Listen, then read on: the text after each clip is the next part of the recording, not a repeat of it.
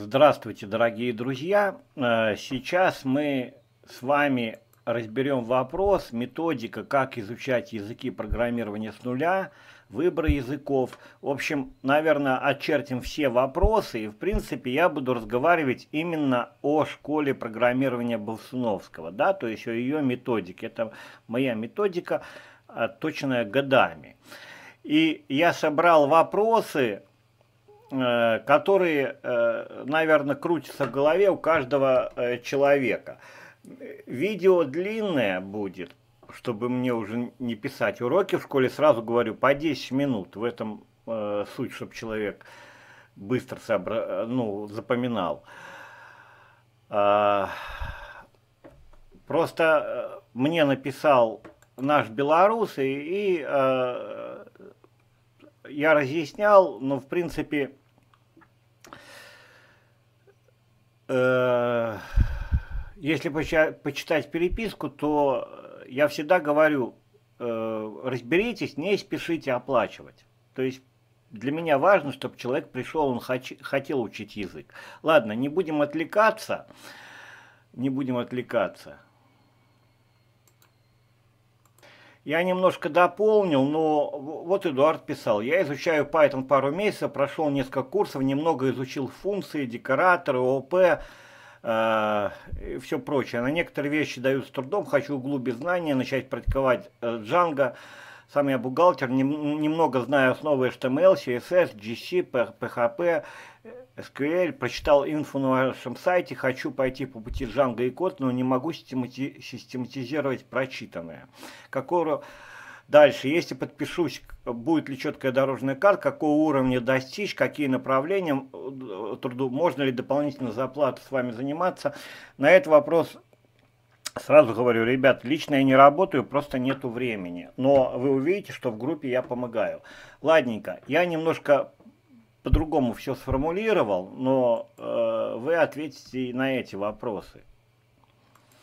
Итак, э, поехали методика, как изучать языки программирования с нуля, выбор языков. Мы, э, э, ребят, очертим проблемы, вот первое, да, и поставим задачи. Берем так, что уровень 0. То есть, грубо говоря, есть огромное желание э, изучать язык, но э, с чего начать, э, как делать правильно, это э, вопрос, да.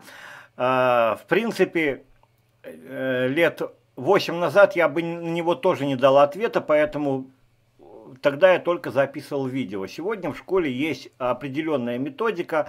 Вот, например, я буду приводить примеры ребят. Тоже Сергей Асачи начал писать через, два, через полгода на двух языках.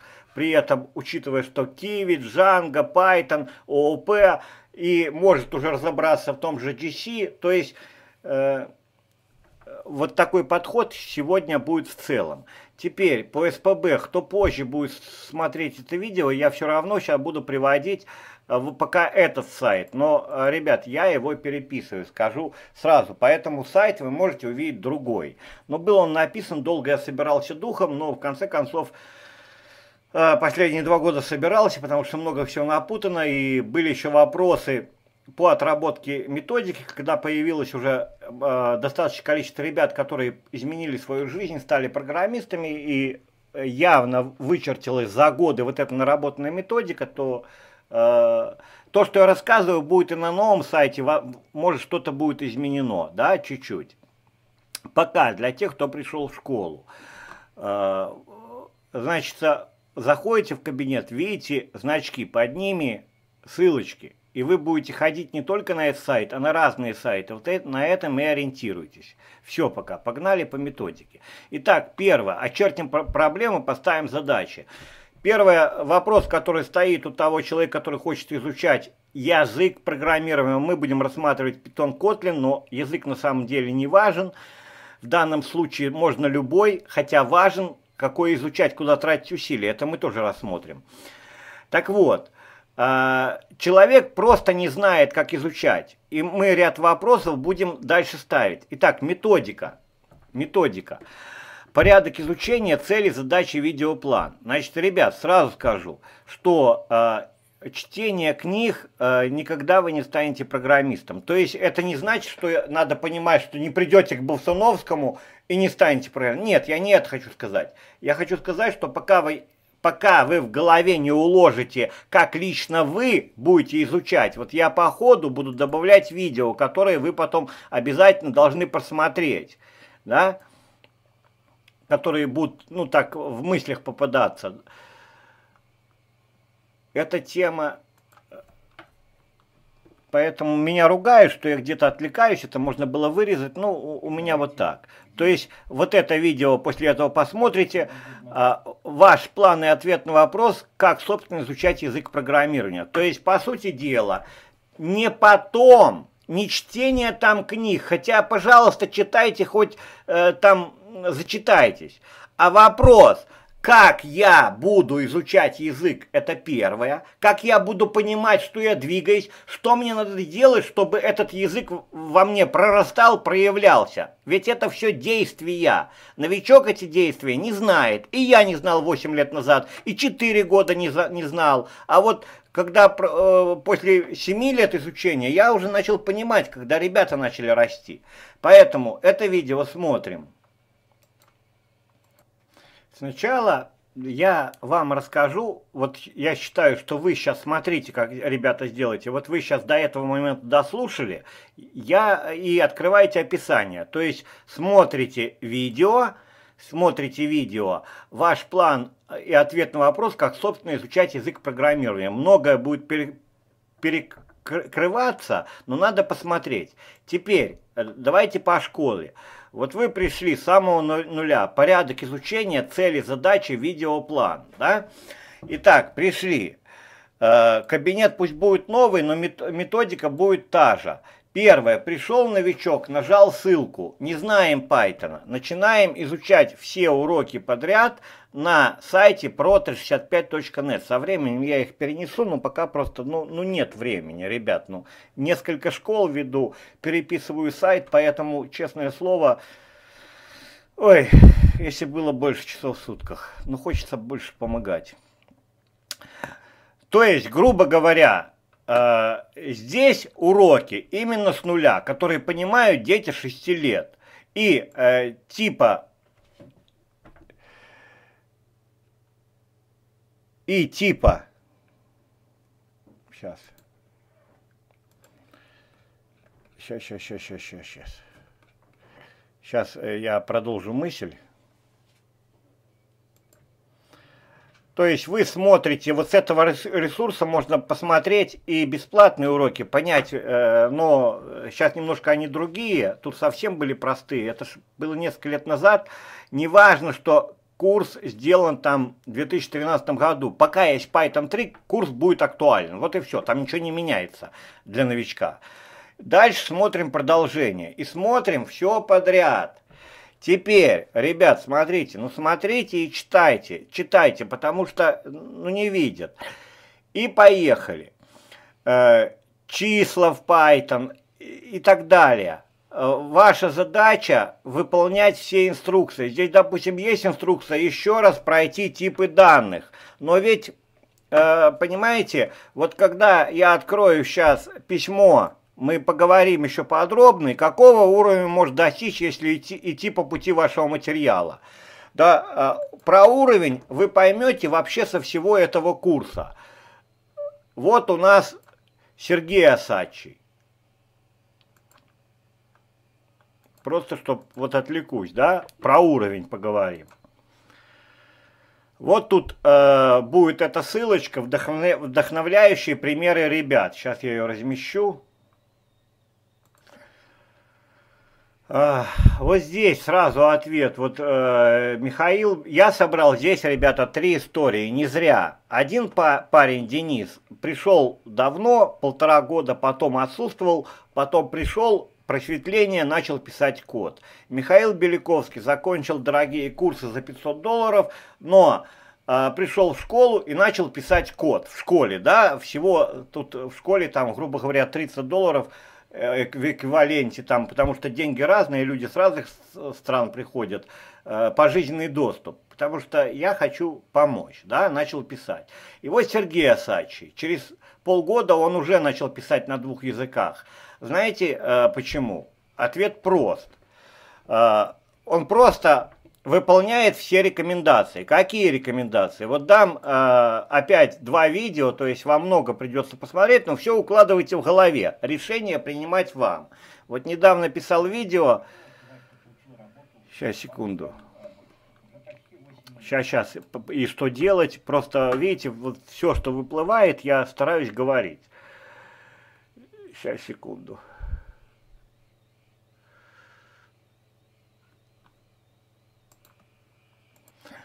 Вот. Э, изучаем э, Python правильно. Этот фрагмент включить, да, э, я написал. Включить обязательно в, методику. Продолжу к этому. Видео я добавил, в описании оно будет. Вот смотрите, я просто основную идею сейчас формулирую. Вот появился еще очень активный человек, Владимир Фомичев. Вот он э, бросил код. Я когда читал, вот читаю, да, э, здесь, э, неважно, что не понимаете код, я просто, э, чтобы вы понимали меня. Э, прошу обратить внимание на то, что методы применения для списка, для... Подождите, сейчас, сейчас, сейчас.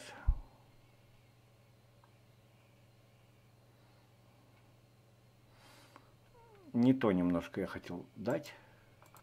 Вот, э, было домашнее задание, да, э, Владимир э, Фомичев делал домашнее задание.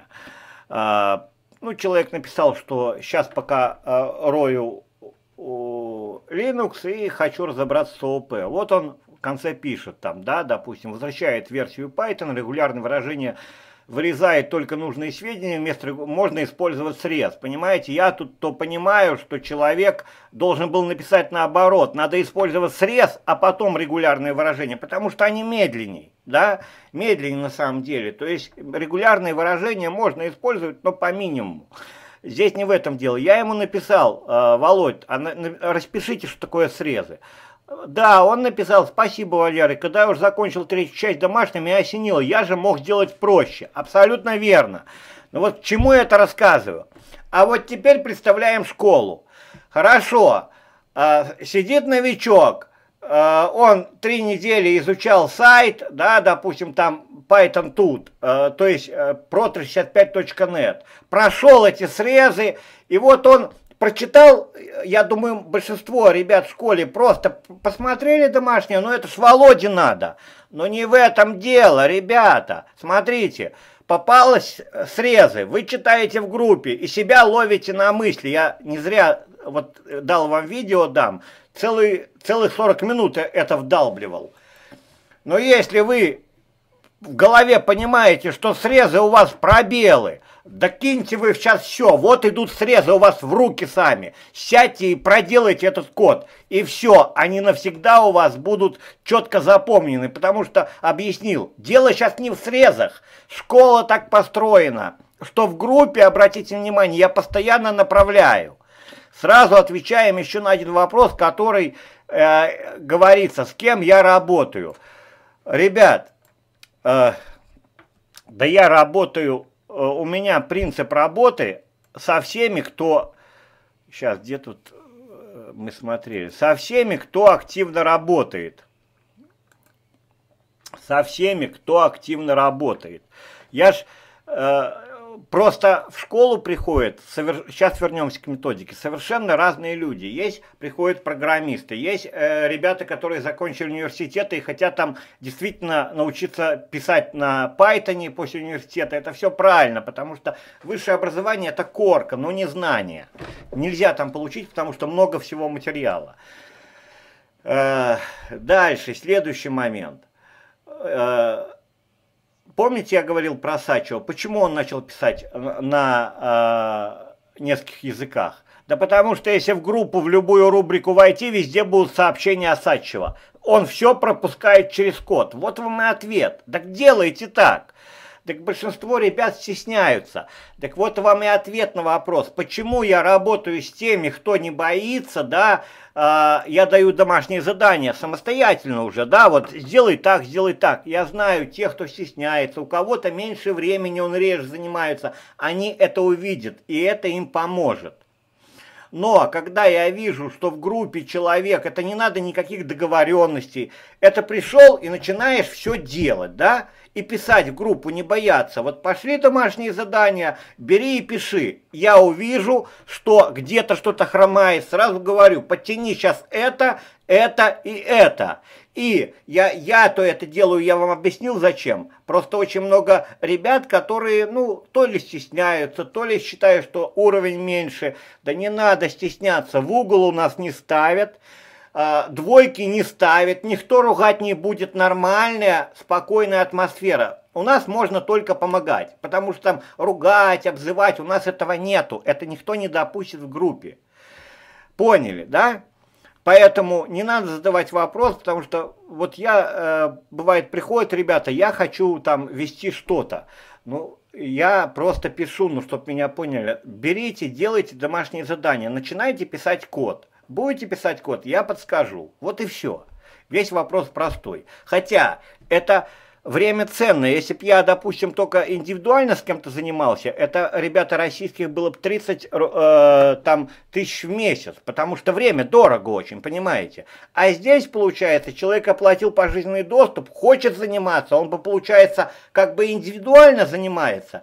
Но я-то понимаю, что и другие ребята это увидят, поэтому я помогаю. Сергей Асачий столько а, отмахал примера, увидите. Так он же и пишет.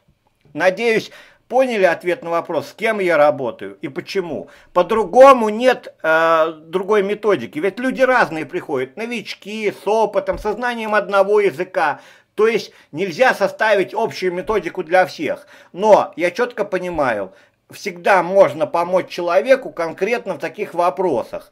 А так для школы есть все, для всех одинаковое это видео. Кто с них что вынесет, мы об этом и говорим. Итак, возвращаемся к методике уже, да, не отвлекаемся. Вот эту мелочь поняли, э, важную, что проходили где-то срезы, ну, прошли, где-то там у вас там в подсознании, в сознании что-то такое проходили, а тут баз в группе, еще раз повторяю, это важно, со срезами работа. Да бросьте вы все, отработайте эти срезы, но уже осмысленно. Итак, пришла э, тема по функциям. Делайте свой план, проделайте по функциям. Так вы постоянно будете подтягивать именно практику, потому что я даю направление, то, что нужно на практику.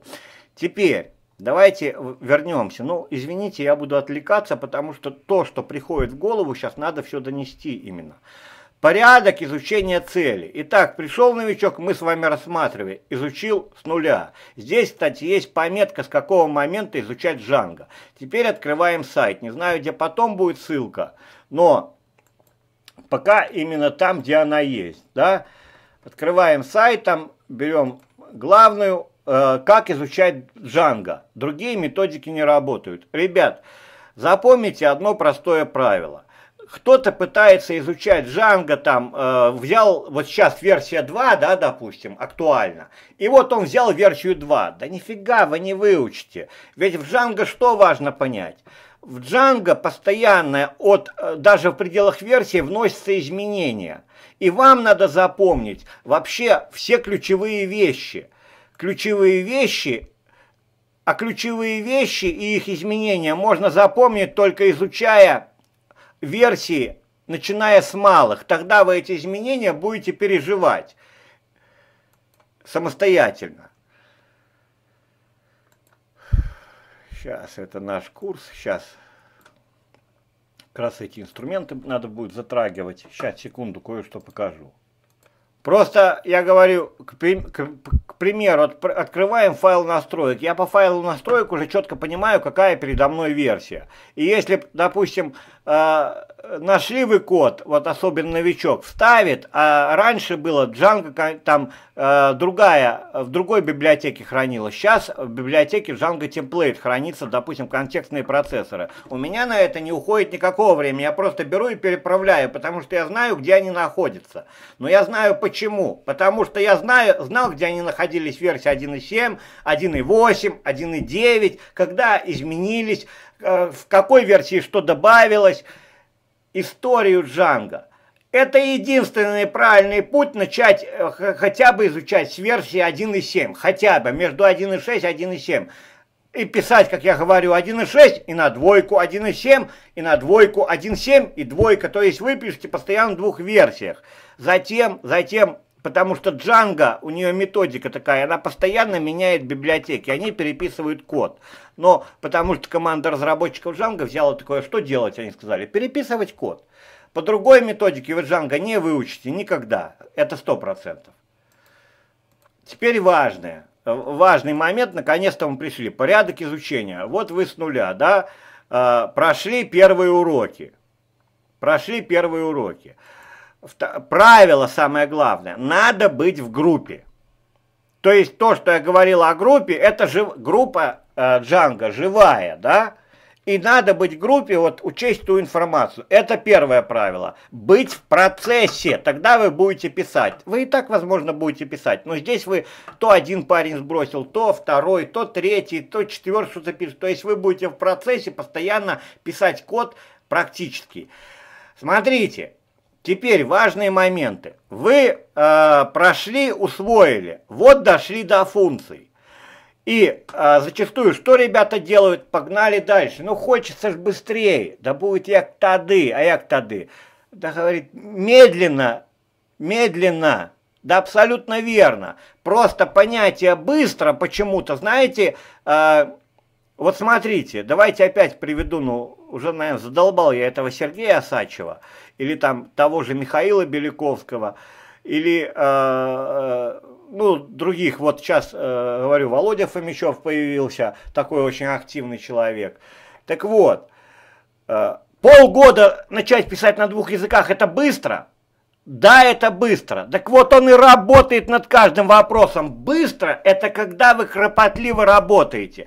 Но не быстро так, что вы взяли курс, за 4 дня прошли, я знаю Python. Ребят, да ни хрена вы не знаете. Единственное, что вы сейчас создали, когда вы прошли быстро курс без всякой методики, вы э, пройдете второй раз, вот так пробежите третий и придете через год к уровню. Смотрите, код вижу, вроде понимаю, а писать не могу. Вам это надо? Но чего лететь? Куда лететь? Что горит у вас? Что вас Э, быстрее будет. Быстрее будет только когда вы будете соблюдать методику.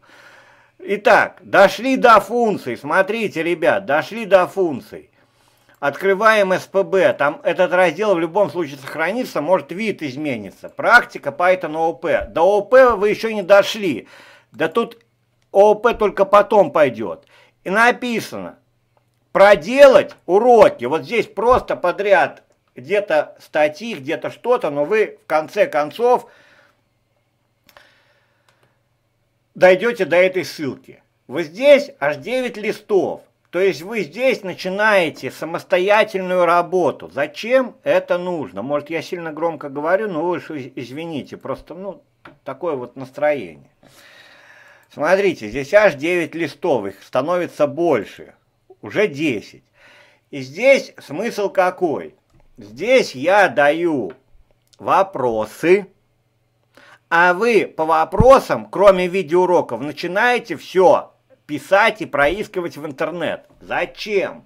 Вы спросите. Сергей Асачи когда-то задавал, думал, говорит, я себе думаю, пришел я в школу, ну вот есть видеоуроки, что мне говорит то то искать, то это искать. Так на сегодня он может любой язык взять и там уже функцию написать за пару минут. Потому что у новичка нет формирования правильно задавать вопрос. Давайте ответим еще на один вопрос, который здесь есть. А что такое программист? Да? Программист не тот, который все знает, что вы весь язык выучите, два, три, а вот увидите, выучите. Но вы, э, мы дойдем до этого понимания, что это, ну, что такое разница между языком и программированием, пониманием программирования в целом. Я не быстро говорю, не знаю. А, так вот, когда вы начинаете, допустим, спокойно открыли, да, и начинаете там, вот написано, теперь там э, попробуйте расширить функции, возьмите строки, они часто используются, попытайтесь объяснить пару предложений, что такое строка. Вот вы это берете и делаете. Ищите уже сами в интернет. Просмотрели еще раз мой курс, но уже ищите, что у вас начинает работать. Правильно. У вас наконец-то начинает работать личный опыт. Ведь вы эту методику используете в ежедневной жизни. Когда это не касается программирования. Например, э, вы купили там автомобиль, да, ну, или девчата купили там швейную машинку. Но ведь вы уже имеете понимание, пусть она по-другому, но где меняется иголка, правильно? Вы идете, меняете. Если там кто-то из ребят купил автомобиль, надо там колодки перекинуть, то, по крайней мере, вы же не багажник будете открывать, а колеса сначала откручивать. Так вот, у вас там было на основании первой машины, кто-то что-то видел, уже сформировано вот это поле, что колодки находятся в колесах, а не наверху багажника или там не в, не, не в, в этом. Э, ну, поняли, не, колодки находятся не в отделении для запаски, правильно? Или там не на моторе, а именно на колесах. Так вот такое же самое, что здесь отличается? Да ничего, вы начинаете формировать вот эти вот понятия программирования согласно поиска. То есть вы посмотрели курс, смотрите, я уже рисовать не буду, представляем, да, вы посмотрели курс там по спискам, да, вы уже знаете, что список там э, одинарные двойные кавычки, знаете, что имеет какие-то методы, пусть смутно. Ну вот, вы прочитали вопрос в этом разделе и начинаете использовать функции. Я зачем? Я ж не зря пишу. Здесь ничего нет не зря. Потому что я говорил, изучение, вот если вы просто со списком играетесь, вот так вот, да, это пустота, но это необходимая пустота. Как только вы начали писать первую функцию и тот же список начали писать в пределах функции, это уже программирование. Почему? Потому что функция это рабочая лошадка. Вы, по сути дела, и функцию пишете, и повторяете типы данных, начинаете их встраивать в функцию, то есть нечто делать с ними, да? Поняли меня? То есть вы все это берете и самостоятельно проделаете. И здесь, смотрите, вот я знаю, что большинство ребят просто почитают то, что написал Асачий. Так откуда ж вы писать будете? Это надо все проделать на личном опыте. Я, помните, вам только что сказал, что у вас формируется понимание, список, какие ключевые слова, что это такое. Но тогда, когда включается личный опыт, вы тогда и запоминаете. Пока вы смотрите видеокурс, вы смотрите и понимаете, пока делаете, но вы еще не запомнили. Как только вы начинаете работать самостоятельно и в этот момент начинаете все задания выполнять используя Google, но вы-то теперь знаете, что вы ищете, знаете, зачем вы ищете и знаете, что с этим будете делать. Это уже ваш личный опыт. У вас начинает работать личный опыт и ваши личные действия. В этот момент происходит самое настоящее запоминание и постижение этих фрагментов языка. В языке все связано. Я, может, не все упущу. Поняли? Итак, в этот же момент, когда вы дошли до функций, вы сразу открываете второй язык. Сейчас поясню зачем. Это моя рекомендация. Делать или нет, вы открываете Kotlin. Уже предвижу вопрос. Почему Kotlin? Я, может, хочу открыть... Да открывайте любой язык. Просто мы сейчас поговорим еще о выборе языков. Вы открываете Kotlin. Здесь совершенно другая методика, которая, в принципе, сейчас, вот, которую я рассказываю, она встроена. Здесь все в пределах функций. Если вы посмотрите план, то идут сначала там функции, уже пошли там быстро и типы, и классы. То есть сначала мы до 25 курса пробегаемся по всему языку, чтобы не чесать рэпу, как вообще что-то написать. А после 25-го курса начинаем очень подробное уже изучение. Э, в принципе, ООП, в него встраиваем э, типы, ну, поймете, да? Все. Так вот, вы спросите, а зачем мне? Так вот так же спрашивал, я вам сейчас дам ответ прямо.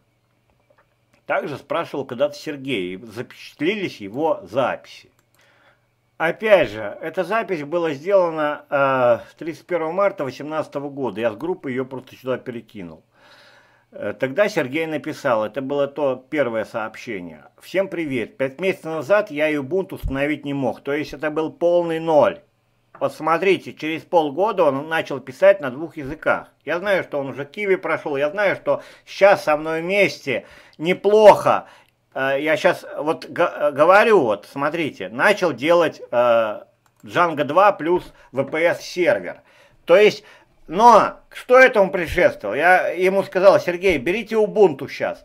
Сергей взял Ubuntu, говорю, вот теперь можете брать Debian. Взял Debian, после Debian перешел к серверу. Но он все это сделал на практике, а многие просто пропустили на потом. Куда на потом, ребята? Куда на потом? Методика, есть методика, ее надо соблюдать.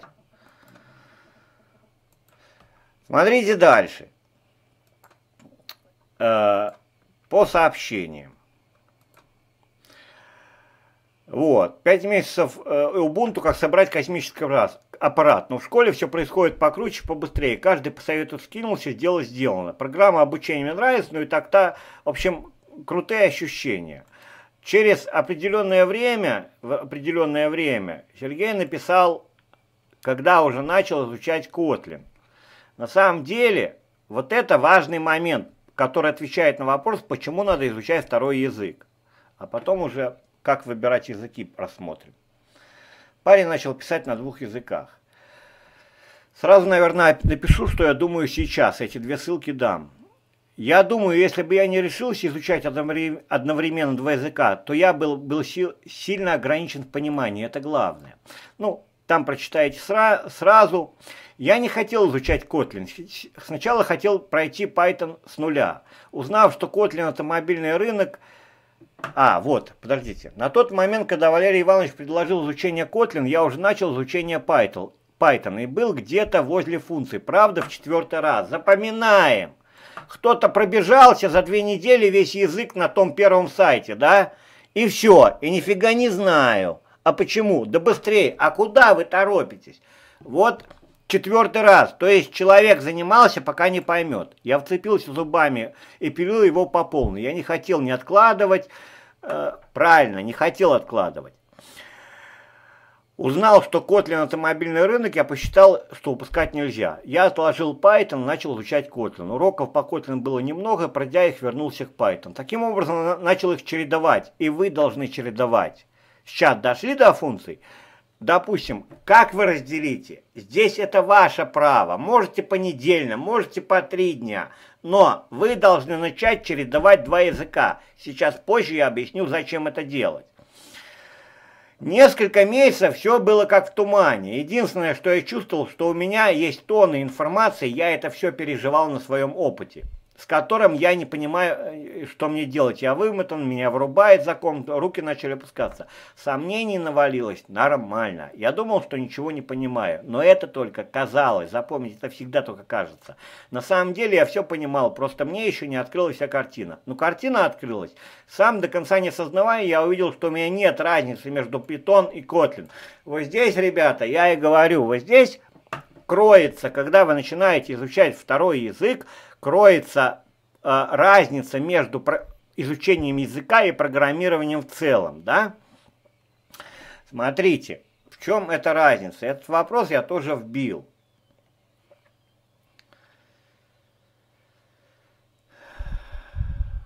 Так, это мы еще посмотрим.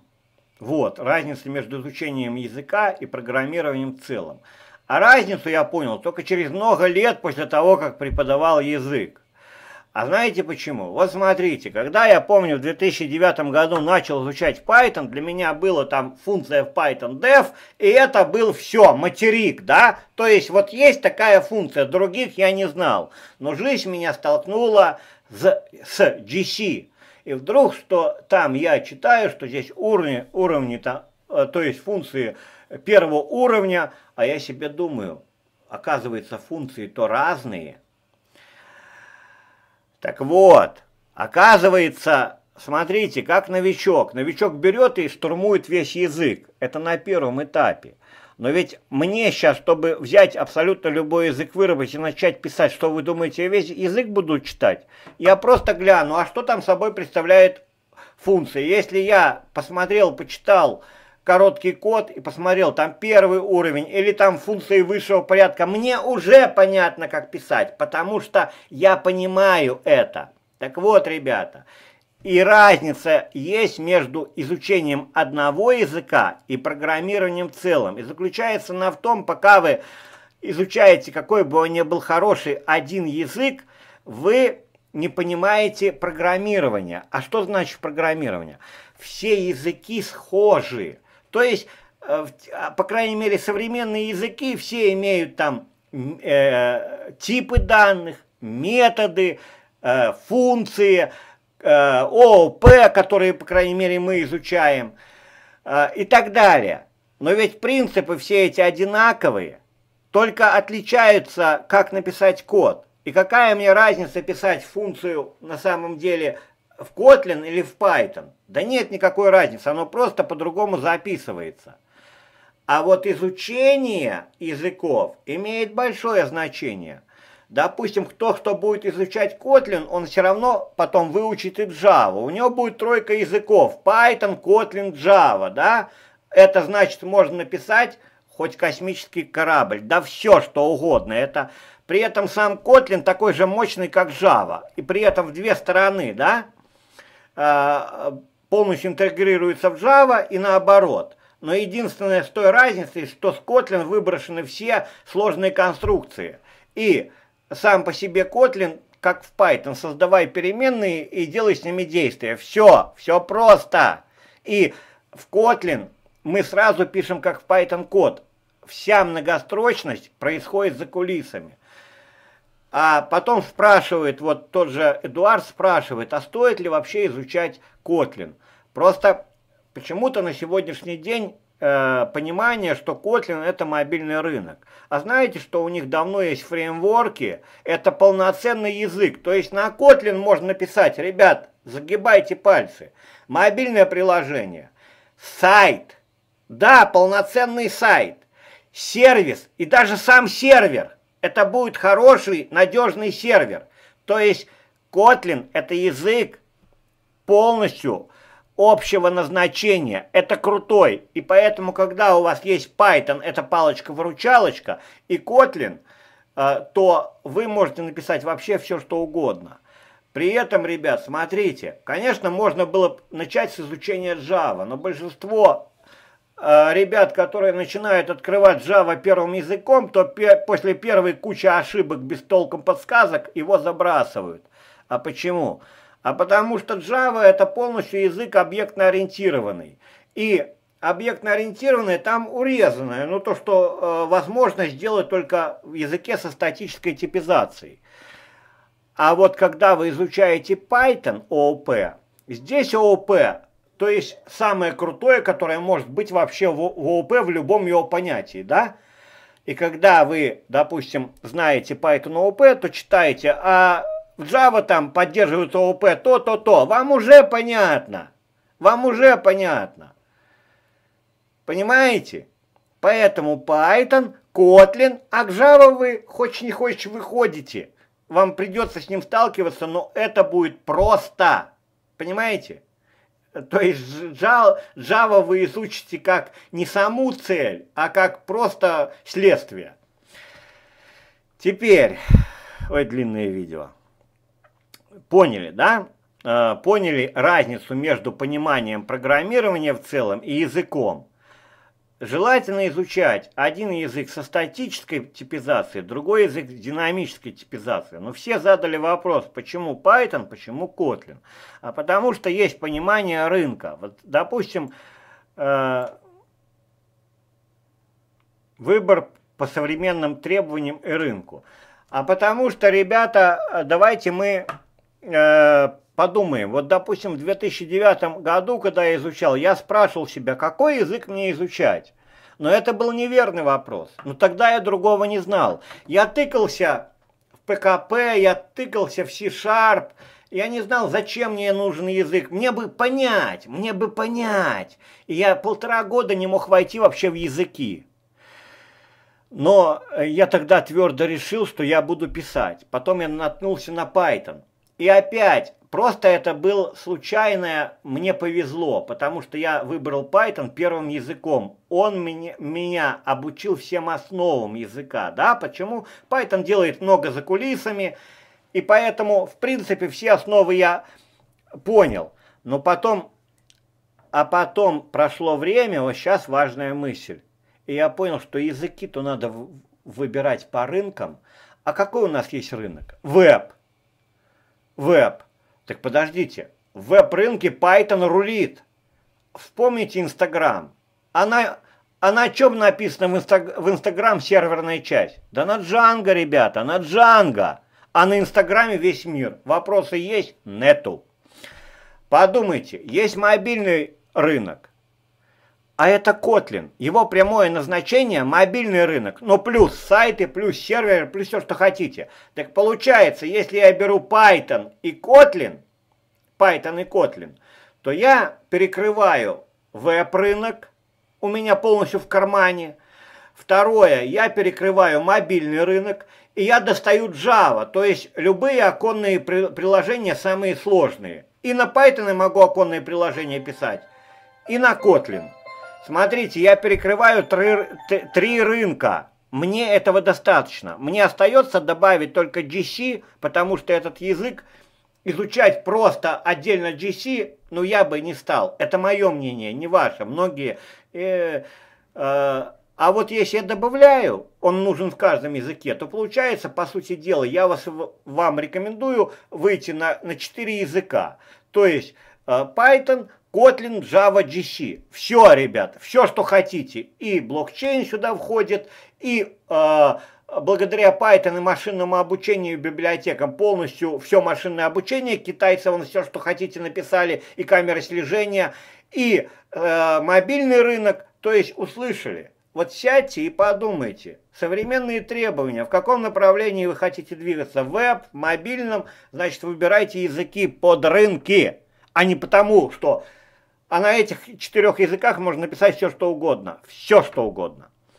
При этом, смотрите, закладывая э, Python и Kotlin, Python имеет очень широкие возможности, Kotlin начинает Э, со статической типизацией, но вы начинаете работать на отличиях. В, это, в этом и суть моей методики. То есть, по сути дела, Kotlin, Python все делает за кулисами. Но в Python вы выучили методы те же, да, там э, э, типы данных, там функции, классы, там очень широкая ООП, я говорю, широчайшей нету. То когда делаете Kotlin, там все надо прописывать. И вот это, то, что вы там прописываете, вы сразу бац, я даю задание, а вот это сделайте в Python, а вот это в Kotlin. И вы начинаете и нутро Python в, в, э, вытаскивать. Поняли меня? И получается, что вы уже не просто, допустим, взяли функцию, вы не просто, вы четко понимаете, что в GC это функция первого уровня, вы уже почитали. Э, в э, в, э, значит, Kotlin функции вообще широчайшие, как в Python. Там собраны все лучшее из других языков, и вплоть можно взять кусок функции, он будет работать. При этом сама функция будет работать, и этот кусок будет работать. Там вообще они сделали упор именно на, на функции. Классы там все основное тоже реализовано. Но когда вы там начали изучать классы, у вас бац сравнение, я постоянно даю, даю домашнее задание, да, вот напишите класс Python, Kotlin, и ребята начинают писать. Ну, я надеюсь, вы меня услышали. Итак, повторяем. Коротко теперь, вот я разъяснил. Дошли до функций, начинаем изучать раздел самостоятельной работы практика Python OOP и подключаем Kotlin второй язык. И начинаем дальше спокойно гнать.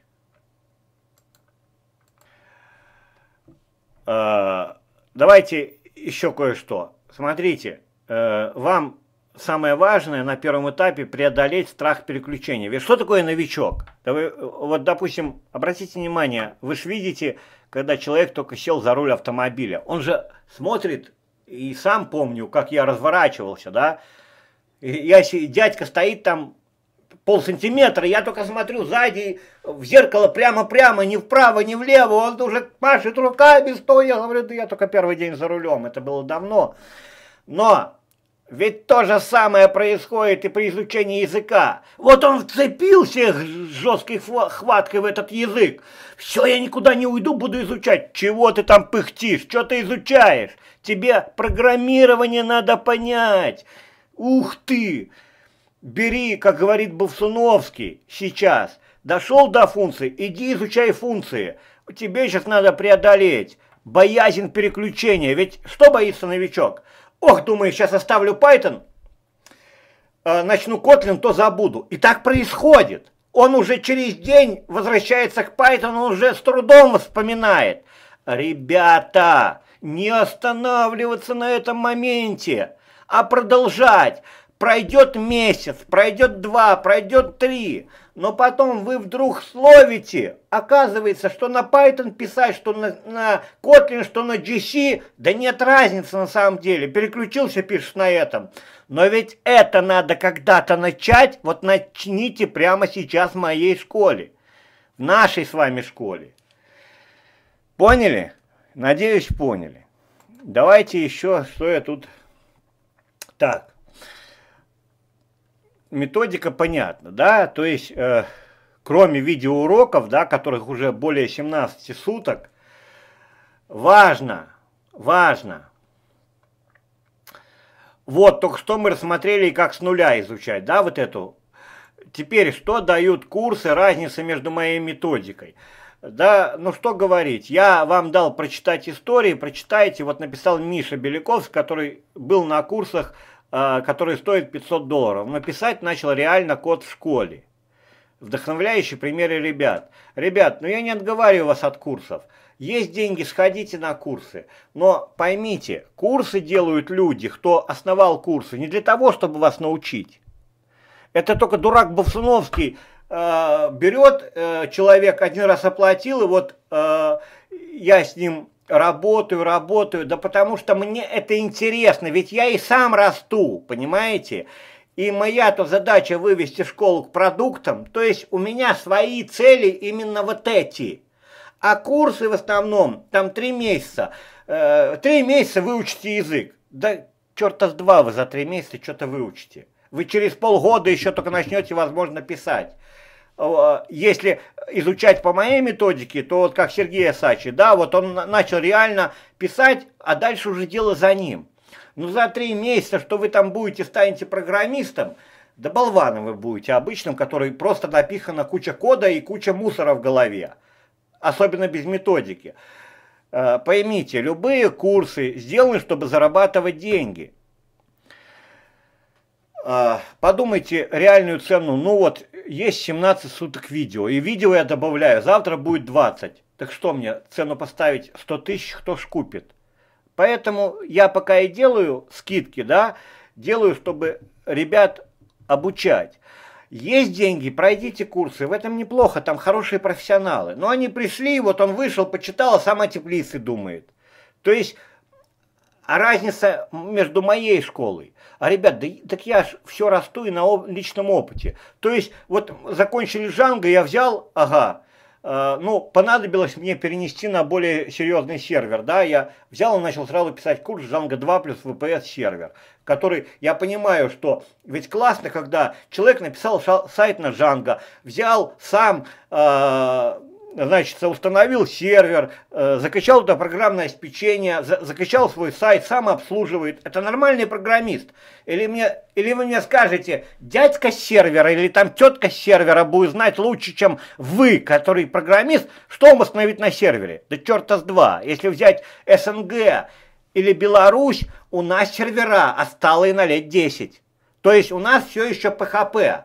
Почему? Да потому что программисты Э, на сегодняшний день пока А, вот PHP выучили, вы что думаете, старые программисты э, хотят что-то новое учить? Да черта с два. И много сайтов наделано на PHP, но пусть они делают. Но ситуация это уже давно меняется. Возвращаться к чему-то. Сколько ребят с PHP приходит, хочу переписать сайт на Django. Потому что, что такое PHP? PHP это вот, берите э, удобрения, берите забор, берите там поливку, все в одну кучу. Вот вам PHP. Что такое э, Python и Django? Это вы, удобрения у вас в сарае в одном месте, вода у вас в колодце, а деревья у вас на месте, да, там, где они растут. Вот это и есть Django, все на своих местах. Конечно же, к этому идти. И э, у, у ребят еще такое, а вы знаете, невостребованная работа, так глупость это. Э, пришел э, Миша Проценко в школу.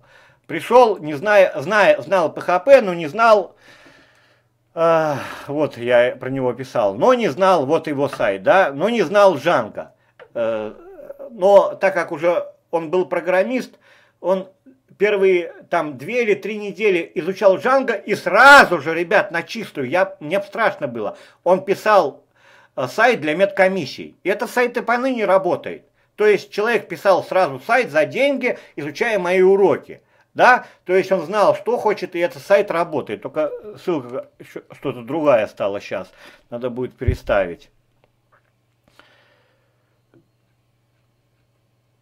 Да, да, да. Где-то я немножко что-то тут напутал был.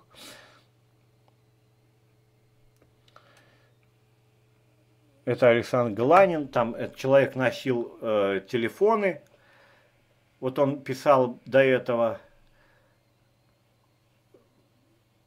Так вот, носил телефоны, школа э, ему помогла, это не тут. Ну вот, вот пример даже центра. Делал сайт по ходу изучения ваших уроков по Джанго. Пришлось изучить Джанго за две недели. То есть человек знал, надо было заработать деньги, взял мои уроки и пошел бомбить сайт. Ну, смелый, смелый Александр я, знаете, даже хлопать. Я, я так побоялся, да, то есть, насколько отчаянный человек. Ну, все сделал, все работает. Ой, сбился я с мысли. Дайте открою наш план. Так, методика. То есть по методике вы уловили, да, то есть э, уловили. Это в конце еще. Что дают курсы, книга? А, мы курсы говорили. Так вот, так я ж не отговариваю, ребят, есть деньги, я только за, пройдите. Там вам дадут хорошую информацию, но сжато и быстро. То есть, чем отличается школа? А вот вам, пожалуйста, живой пример. Давайте посмотрим. То есть, смотрите, на курсах прошло занятие по спискам. Вы ж не придете через неделю и скажете, а я хочу списки. А приходи на следующий курс и еще 500 долларов заплати. Преподавателю тоже платят зарплату там, да, он там не хозяин он с вами заниматься не будет. В школе все немножко по-другому. Немножко, а множко. Берем историю того же Дениса. Я же не зря взял. А ведь таких ребят, как Денис, очень много. Вот, Денис Латыпов написал. Человек пришел, потом полтора года что-то там делал, ему все казалось. Потом вернулся и начал писать, вы знаете, совершенно неплохой код. Прозрение или он созрел внутри, я не знаю, почитайте эту историю, да, но вопрос в том, у человека поперло, да, то есть поперло. И чем хороша школа? Вот прошло полтора года, пришел, хочу заниматься. А ведь недавно двое ребят тоже писали, ой, там, э, потерял логин, пожалуйста, выслал, э, уж доступ-то пожизненный, хочу заниматься. Так вот, ребята, совет вам. А совет вот как раз открою одно из сообщений сейчас.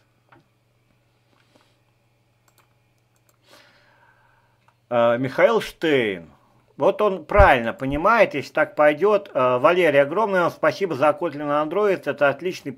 На сайтах Python и Kotlin авторизовал все, ну это бла-бла-бла. А, Валерий, хочу вам сказать спасибо, но себя хвалить не надо, ленёхи. Я перелил весь интернет в ответов на Python и Django, в особенности Django. Интересовали меня видеокурсы, с чего начать, куда смотреть и что-то более-менее простое для новичков не удалось найти. Информации много, но она не совсем для новичков и подается не так просто. Очень распространены видеоуроки по часу-полтора, но это как я сейчас делаю, а так в школе по 10 минут уроки, когда, потому что я понимаю, что человек должен усвоить, повторить и отложить. Лично это меня утомляет, информация не откладывается. Но попав на ваше видео, я понял, что этот формат именно то, что мне нужно. Уроки по 10-15 минут, подача легкая, смотреть интересно, а главное, что все понятно. Вот это самое главное. Когда человек понимает, он запоминает. А если нужно вернуться к разделу, и так. Э, на данный момент делаю основной упор на веб, Python не забываю, понимаю, что это основа, знать необходимо. Ну, где-то просто он писал, что я не тороплюсь. Это очень правильный подход. Ребят, ВКонтакте здесь отключены комментарии. Здесь просто я даю, что происходит в школе, выкладываю. Такой-то курс вышел, вот кто-то что-то написал. С ребят школы то, что может помочь кому-то другому, либо принять решение, либо там понять какую-то мелочь, посмотреть какое-то видео. То есть здесь можно поставить там нравится, но э, комментарии здесь отключены. Почему? Я объяснил. Потому что это просто то, что происходит в школе, отражает. Я не собираюсь здесь ни с кем спорить, вот я какой есть. Не принимаешь меня, значит, э, там э, забудь мою страницу и все. Принимаешь меня, значит, работаем вместе, писать будешь. Поехали дальше. Э, поняли, да, то есть э, хочешь э, сиди над курсом неделю, хочешь две, ребята помогают, и я направляю, когда человек активный. То есть, по крайней мере, рано или поздно разберешься, но писать будешь. Иногда, вот как Денис Латыпов, да, не мог понять, а потом бац, как прорвало. Поэтому, а, тогда я забыл сказать одну фразу. Ребят, не бросайте язык, все равно не бросьте, ведь потом пройдет Год, полгода опять вернетесь. Так вот, устали, отдохните. Пусть это будет три недели, там четыре, месяц, но не бросайте. Просто отдохните, а лучше выберите такой режим, чтобы вам было удобно заниматься. Как изучать языки программирования с нуля? Мы это и рассматриваем. Выбор языка по рынку, только что рассмотрели. Инструменты, вот это важный момент. Вот я э, часто говорю, Инструменты полностью связаны с понятием документации. Абсолютно верно. Вот, допустим, одно из последних. Владимир Барабанов. Я помню, просто фамилия такая интересная, поэтому я запомнил. Но вот когда очередной, не очередной, а еще один человек пишет, что он, ну, грубо говоря, корабль вышел в море и вперед, вот он, такая ситуация. У вас я получил хорошие водные знания по питон Django, а, но ну, так вышло, основным источником стала официальная документация. В любом случае, я очень, очень благодарен, спасибо. Кстати, недавно закончил первый проект. Ну, я скажу честно, я очень рад, потому что это цель школы поставить человека на, ногу, на ноги. Но все равно мне почему-то немножко грустно. Я не знаю почему, я не анализирую, просто немножко грустно, грустно но это хорошая такая грусть, когда а, а, еще один человек стал на ноги в программировании. Поэтому трудно мне здесь что-то а, объяснить. К чему я это сказал? Вот он писал про документацию. Так вот эти инструменты основные для новичка должны быть Jupyter и Git, да? Jupyter я сразу включил в тот же сервер. Мы говорили, что Jupyter это командная строка, но командная строка, которая убирает всю боязнь которая убирает боязнь командной строки. И вся документация построена, в общем-то, чем объяснять, я недавно записал специально по этому поводу видео, и я вам его добавлю. Здесь расскажу только саму суть. Сейчас я добавлю. Все, мой, мой зайка, жена выгоняет меня кушать, я позавтракать забыл. Ну ладно. Итак, ребята, а, уже надо доделать. Так вот, смотрите, э, эти два инструмента, особенно первый, связаны с документацией, с понятием документации. Я вам дал вот здесь история ребят, почитайте историю Миши Беляковского и найдите там то, что он, вот тут вдохновляющий, да, там найдете Михаил Беляковский, найдите то, что он писал про документацию.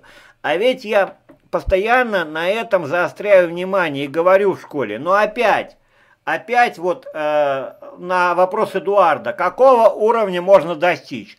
А вот так, этот совет, э, этот совет, вот сейчас, который я сказал, профукал, все, документация тебе будет понятна с трудом, по крайней мере, долгое время. А можно этот вопрос за там 5-6 месяцев решить. Для этого надо начать использовать Jupyter всего лишь. Почему?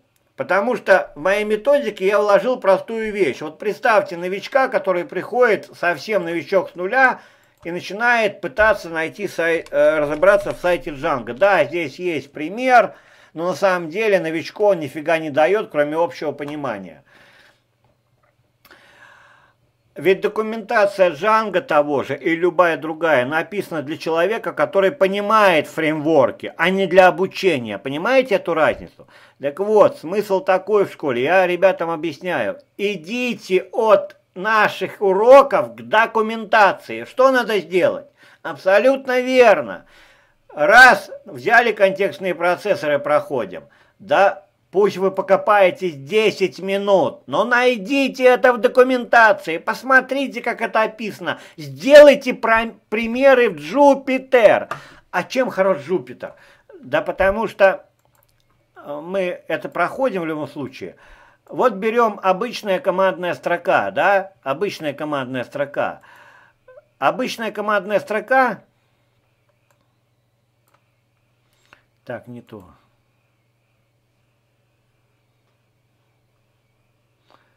Консоль, да? Здесь вот вы перестали писать, закрыли и все забыли. А Jupyter ноутбук вы можете все это дело сохранить. То есть вот такой документ, да, и всегда пройти этот код, прописать снова и снова, посмотреть ошибки, и это будет сохранено как документ. Так вот, когда вы идете от вашего приложения к документации, то есть ведь вы когда смотрите те же там контекстные процессоры, вы понимаете, о чем идет речь? Речь идет о контекстных процессорах, то есть это те вещи, которые вы хотите, чтобы отображались на всех страницах сайта. Но когда вы идете к документации, вы идете с пониманием, что смотреть, и вот так, когда вы будете делать, со временем пойдет обратный процесс. Вы уже будете понимать, смотря документацию, и знать, что сделать в проекте. Но это не главное, зачем командная строка. Да, можно привести такой пример, что командная строка, вся документация пишется любого языка на чем? На командной строке, то есть примеры кода. Это первый. Но ведь если не, не начать работать с командной строкой, когда вы это будете понимать? Никогда. Так начните сейчас. Опять Эдуарду, который задавал вопрос, а, отвечаю, когда он спрашивал, а какой уровень может достичь. Вот пропустили этот совет, уже тяжелее будет. От кого зависит уровень? Бовсуновский все рассказал. А сделали или нет, это уже дело за вами. Ну считаете, что э, вот я 9 лет и дам плохой совет – которые приш... приходят там, через 7, через 8 лет. Это же понимание, ребята, знаете, каких денег стоит на самом деле? Это огромнейшее понимание, с годами накопленное. Каждый день я работаю с участниками. То есть это опыт, совершенно реальное обучение. А если вы там будете выдумывать, да, у вас будет все нормально, только позже. Потому что все равно вы придете к тем вещам, о которых я говорю. Но позже. Зачем терять время? Не надо. Поэтому слушаем. И желательно вот то, что я рассказываю, конспектируем, чтобы потом понять, это вы будете делать, это нет. Решили делать.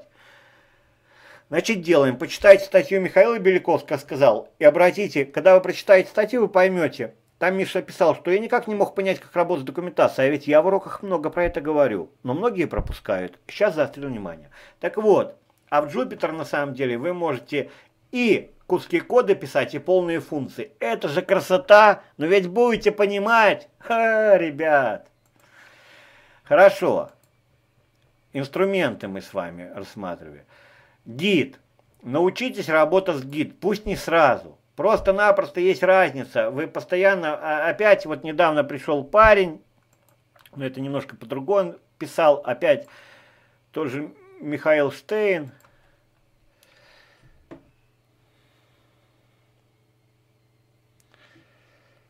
Mm-hmm. А вот, Валерий, вы в конце первого курса, я уже не помню, где это на Python Tool, попросили оставить отзыв. Был у меня небольшой учебный проект по курсам жанской школы СПБ, пришло время осваивать гид. До вступления в Python тут я думал самостоятельно попробовать создать репозиторий, все настроить, попробовать проект заправить на Bitbucket. Попытки, естественно, не начались успехом. Правильно? Потому что если начать с самого нуля, то придется иногда 3-4 недели покопаться. Лучше посмотреть уроки и сделать это за один день. А потом все равно эти три недели уже наращивать. Разница есть. Сегодня снова взялся за дело, но уже по вашим курсам все действия производились со старым проектом. Видимо, я его где-то сломал. Пошли сплошные ошибки, ничего не отправлялось. Потратив всего несколько часов, было решено снести проект, начать с нуля. Шаг за шагом, следуя вашим рекомендациям, в итоге все прошло с первого раза без единой ошибки. Все верно. И дальше я ему дал советы. Сделали веточку, надо вам написать какой-то код.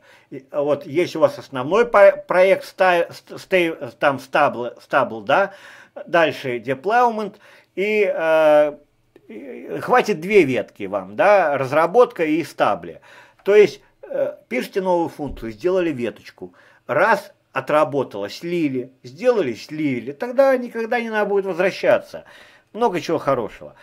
Это сейчас не все инструменты. Ребят, инструментов намного больше. Просто я сказал вот новичку, что надо начать делать. Потому что Jupyter связан с пониманием документации. И самый главный инструмент это подсказки в группе. То есть, вы сейчас слушаете внимательно, это важно. Важно быть в группе. И важно то, что мы рассматриваем в начале, то есть, э, допустим, Владимиру Фомичеву мы, я его направил, да, разбирали срезы. Споймали себя на мысли, ах, я срезы помню, но смутно. Все бросаем. Это основа, ребят. Сейчас прозвучит важная мысль. Перестали вертеться, пить кофе и курить, а сели спокойно слушаем. Важная мысль. В языке есть основа. И основу не завтра, не послезавтра, не вчера. То есть вчера вы должны знать. Сели за язык. Есть типы данных. Не знаете? Болван! Болван! Что это за издевательство над собой? Типы данных даже должны отлетать.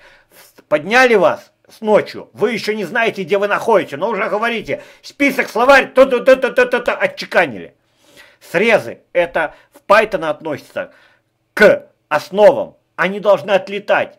Вчера, вчера, ребята, если вы изучаете Python 2-3 месяца, а про срезы задумывались, срочно бросили. И понимаете, срезы – это тоже одна из основ языка. Значит, должно отлетать и пониматься твердо. Вчера, ребята, вчера пониматься. Поэтому вот эту вещь не пропускаем. Запомнили. И срезы здесь сейчас на самом деле ни при чем. Тут будут в группе проходят задания по функциям, по классам. Просто вы должны понимать, я это говорю в уроках, что в любом языке есть основа. Это типы данных, это функции, это ООП, да, допустим, если он содержит. Но есть основы, есть методы, есть там, э, это все основы языка. В любом случае, смотря уроки, вы с ними сталкиваетесь. Но вы должны, я уже повторяю, раз пятый, и там еще видео посмотрите. Опять, Эдуард, вот вы спрашивали вопрос, какого уровня достигну. Если, допустим, вот сейчас я рассказывал, и вы с этого ничего не вынесли, именно Эдуард, да, то уровень ваш остается тем, на котором вы реально достигнете. Хотите быстрее, делайте, как я говорю, включайте это повседневную работу. То есть, сели в группе, увидели те же срезы, это у нас пример, могут быть функции, могут быть в классах, и только вам в голову пришло, что а срезы то я вроде изучал, но туго помню, все вместе с Володей. Да обсудите вы, проделайте, выкопайте, проищите в интернет, посмотрите урок. Но вы четко должны понимать, больше вопросов по срезам у вас нет. И так каждый шажок школа и группа, она вытягивает очень много. Надо быть в группе, надо применять эту методику. Тогда вы продвинетесь далеко. Так делает Асачи. Что не задашь, он все делает. Все делает. Кстати, я как раз, когда было по срезам, я э, Володе задал тоже по срезам, да, а э, Сергею сказал, а, пожалуйста, Сергей, проделайте это, но уже в Джупитер, да, и все, а Сергей это проделал потом, э, что и он, но уже в Джупитер. То есть, чтобы школа видела, что надо делать Jupyter, да, и при этом у них совершенно разный код, но смысл один. Молодцы, молодцы. А, хотя не всегда так было. Да, Сережа начал легко писать код. Это каждодневный труд. И это может каждый. Ребят, не говорите мне, что я там не знаю, я не математик. Да никакого отношения программирование не имеет к математике. Я понимаю, если вы будете разрабатывать математическую библиотеку. Так, э, извините, человек, который не понимает математики, точно этим. Но ведь Django какое имеет отношение к математике? Обычная логика. Взял функцию. Ах, вы логику не знаете. А вот тут мне не надо пи врать. Грубо говоря, вы меня поняли. В магазин ходите? Список составляли? Что вы в магазин заходите и... Ой, паника у меня, я не знаю, где мясо, где колбаса. Да нет, в магазин ходите. И что, вы мне скажете, что вы уже не программируете? Вы что, посмотрели на вывеску, которая висит правее? Вы уже if, if, если вывеска прямо, иду прямо, если направо, если вывеска справа, значит else, иду направо. Ха, не, ребята. Каждый человек программированием занимается каждый день. Единственное, один себе выдумывает, я не программист, э, потому что я не понимаю. А, а логику применяя списки, отдых расписать. О, там работает логика у всех. И все программисты. Уже до минуты распишут. Поэтому не врите себе. Каждый человек программист. Вам что надо сделать? Смотрите. Ведь программирование почему-то, э, знаете, бред читаешь, да? Программирование надо разбираться в математике. Ну да, кто делает какие-то математические функции, а я ребятам говорю, да не пишите вы эту хрень. Не пишите вы хрень с этими математическими примерами, как луз. Это никогда никому не понятно, никогда не понятно, как, к чему строить. Пишите, вот как я вас учил, варим суп, добавляем горох, фасоль. Теперь все понятно. Понимаете, математические функции поймут часть людей, у которых математический склад ума. Но они не жизнеспособны. А если вы переложите на суп, значит в чем суть? Да суть в простом. Вам просто найти надо себя. И вот здесь я не включил одно правило – поиск себя а каждый находит себя. У вас есть хобби, у вас есть желание. И единственное, торопить не надо. Поиск себя я уже не буду дописывать, но он есть, да? Я видел, сколько людей в школе находило себя. Вот человек с Москвы, Саша Галань, где-то есть его сообщение, я вам говорил ранее, да? Вот он писал мне письмо. Два года назад там я носил телефон и продавал по салонам. Ну, вообще везде, по Москве. Ну, грубо говоря, из двери в дверь. А сегодня я работаю в банке программистом. Школа ему помогла вот именно стартануть. Дальше он уже разобрался сам, разобрался в GC, разобрался уже в документации. Но сказал огромное спасибо. То есть миссия опять школы была выполнена. Так я к чему говорю? Человек изучил Джанго, нашел себе работу. Кто-то, парень писал, помню, он начал, э, сначала учил Джанго, потом оказалось, что востребовано было там в его регионе программировать табло, он занялся Python, сегодня программирует таб табло, на этом зарабатывает. Каждый, каждый, ребята, найдет себя. Только надо это делать правильно. Как делают неправильно? Я сижу и думаю сейчас, ну вот, ребят, а, а что я хочу сделать? Ребят, вот сейчас слушаем опять внимательно, потому что от этого зависит потеря или не потеря времени. Запомните, вот сидит новичок и размышляет, вот я хочу сделать сайт.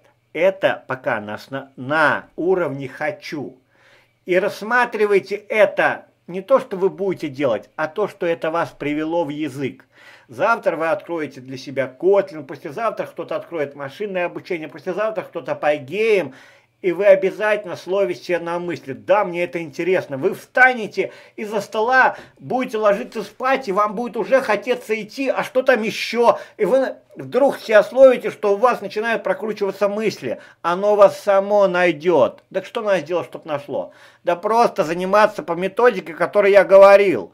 Просто пока не надо ни о чем думать, а делать так, как я говорил. Вот как мы говорили в начале, да, прошли курсы, дошли до функций, начали э, изучать э, углубленный раздел, подключили Kotlin. Бас, там кто-то словил мобильное приложение, глюк, все хочу. Все четко, дальше продолжаем, но сюда делаем упор.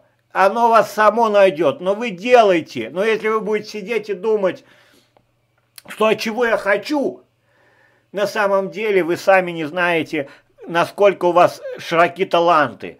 Ребята, Ведь славяне настолько талантливые, только э, и, и вот себя ужать вовсю, да, вот хочу вот это и все. Вот это тоже у них классно. У нас с вами, да. Поэтому отпустите вы себя, да само это придет. Ваша сейчас задача простая. Помните, мы рассматривали, это очень важный момент. Ребята, извините, что длинная. Вот он момент, важный. Вот вы учитесь, ваша задача понять разницу между изучением языка и программированием. То есть бомбите два языка, нарабатываете. А придет вот это время, и это направление у вас само вырастет сам интерес, который для вас откроется. Поняли? Поэтому не надо кипишить и не надо дергаться, а просто уверенно идем вперед. Не пойдете вперед, ничего не будет. Потому что надо э, для того, чтобы вы уже осознали и то, и то, и все хочу писать, для этого надо определенный порог внутри. И вы обязательно себе скажете «могу». То есть вы подводим итог как открыть путь к любым языкам. Вы, наверное, поняли, что изучая Python и Kotlin, вы это переживете на себе. Вы потом откроете GC, вы будете, конечно, пойдете смотреть, а что там за функции, те же, вот то, что я рассказывал, да, и вы уже будете писать просто по-другому немножко, как в Python, как Kotlin, но вы будете понимать, что это функция, что вы можете написать метод, и пусть это GC. Ну и что, ничего страшного. Вы начнете именно уже, у вас появится как-то Александр сидит в школе, он сказал, осведомленность о языках, то есть вы будете понимать, что содержат языки.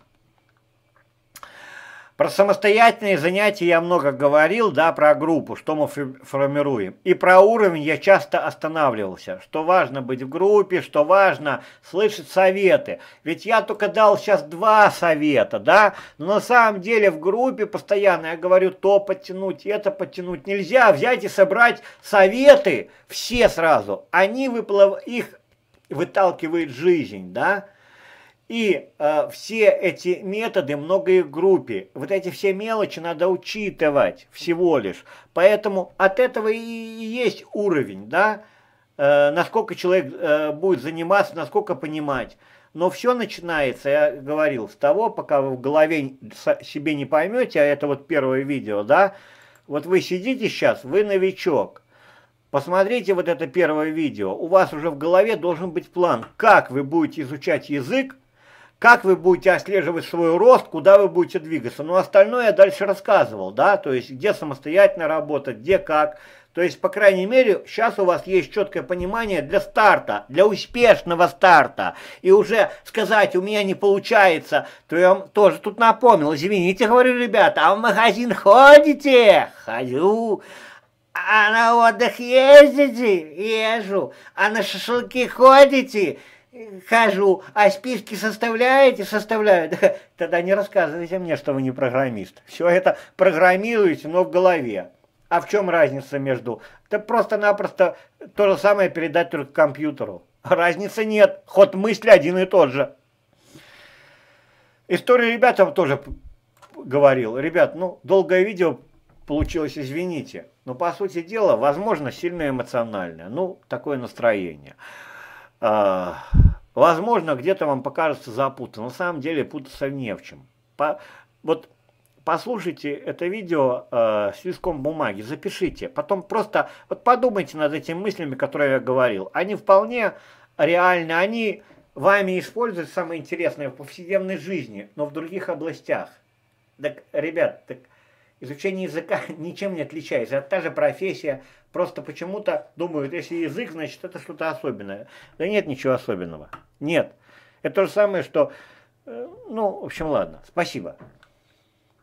Да, э, кто начал с этого видео, оно ссылки есть, начинать надо в любом случае с pbteretut.ru. Спасибо за доверие. Все получится.